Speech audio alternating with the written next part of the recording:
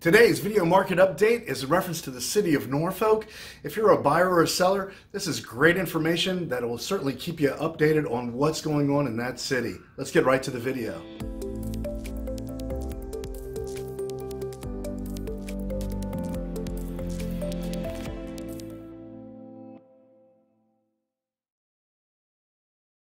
All right, let's get right to the data for the city of Norfolk, Virginia. September 2023 as compared to September of 2022. Median sales price 295,000 and you can see it is a 7.3% increase over last year where it was 275,000. So it's a $20,000 median sales price increase for Norfolk.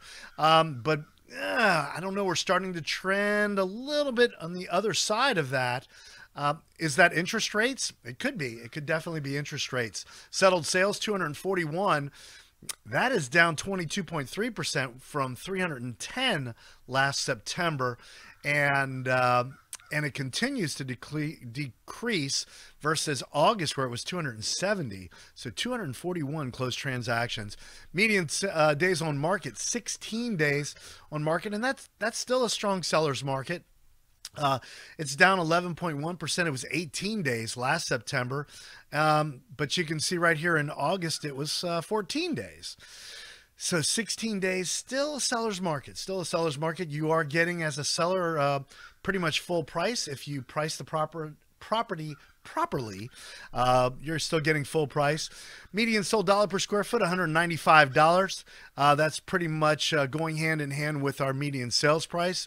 New listings on the market, 333. That's down 9% uh, from last September, where it was 366 uh, new listings. And you can see it's pretty much just hanging right in there for the last 12 months.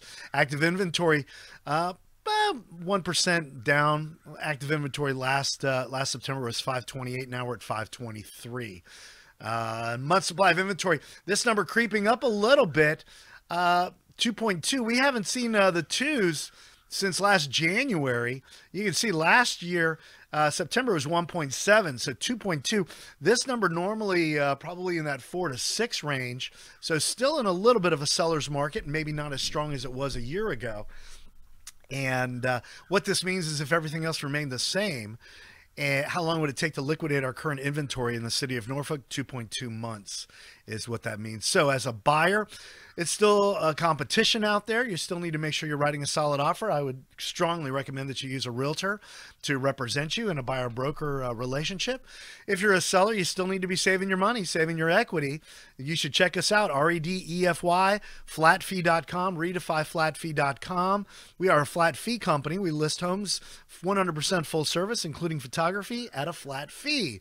Uh, $5,500 is our commission. There's a $300 setup fee, and that's it. 5,800 bucks on the listing side.